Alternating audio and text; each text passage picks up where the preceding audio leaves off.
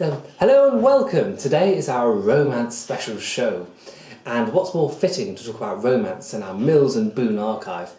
And today I have with us Judith Watts, a PhD student who's focusing on Mills and Boon.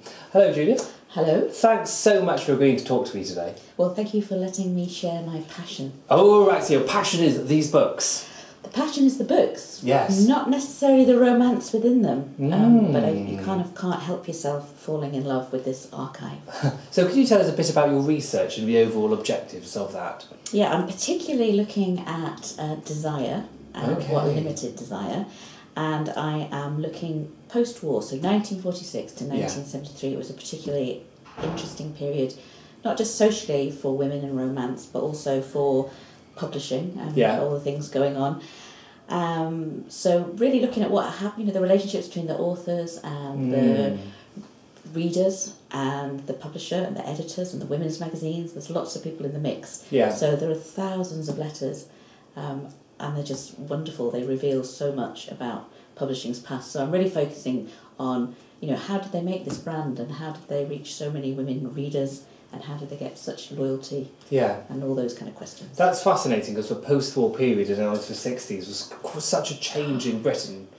Completely. So in terms of desire, whether it's Mm. romantic desire or sexual desire, Yeah. um, lots and lots of change and lots of controversy Yeah. for these authors, um, but not by today's standards. No, not at all. Um, so Mills and Boon has been. Uh, so how long have they been going for? Sort of.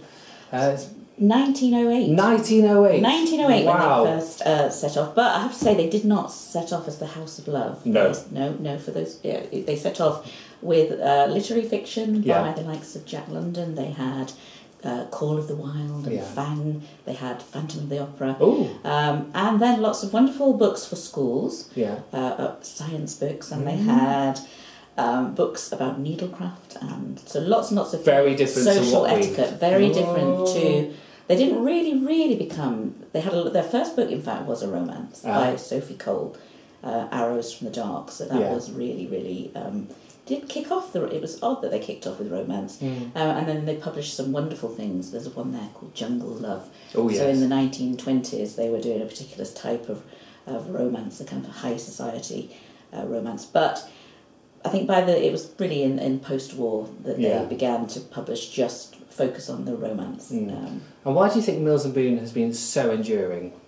Has continued for so long. The readership is sales are still high and still popular. Still high. Um, I think one, that they're enduring because what they sold to to readers was an idea of a really quality read. So I Mm. think Mills and Boon knew themselves that they, they you know this is light romance and this is reading as entertainment. You know, this isn't reading obviously for you know kind of self improvement or all those other things you read. This was me time. I think they really kind of focused on me time for women. So in the you know nineteen fifties and sixties, uh, these were uh, for kind of people working facts shop factories shops. You know, housewives at home. The, these were kind of time for them to kind of take a break and escapism. So they promised that all these books would provide really good Mm. escape. Excellent, and we all love escapism. And what I really like about Mills and Boon is these fantastical covers, They are which are just absolutely fabulous. And where do you do you know where the idea came from? Just have these amazing covers, and what do you think is um, so popular about them? Do you think they help the sales?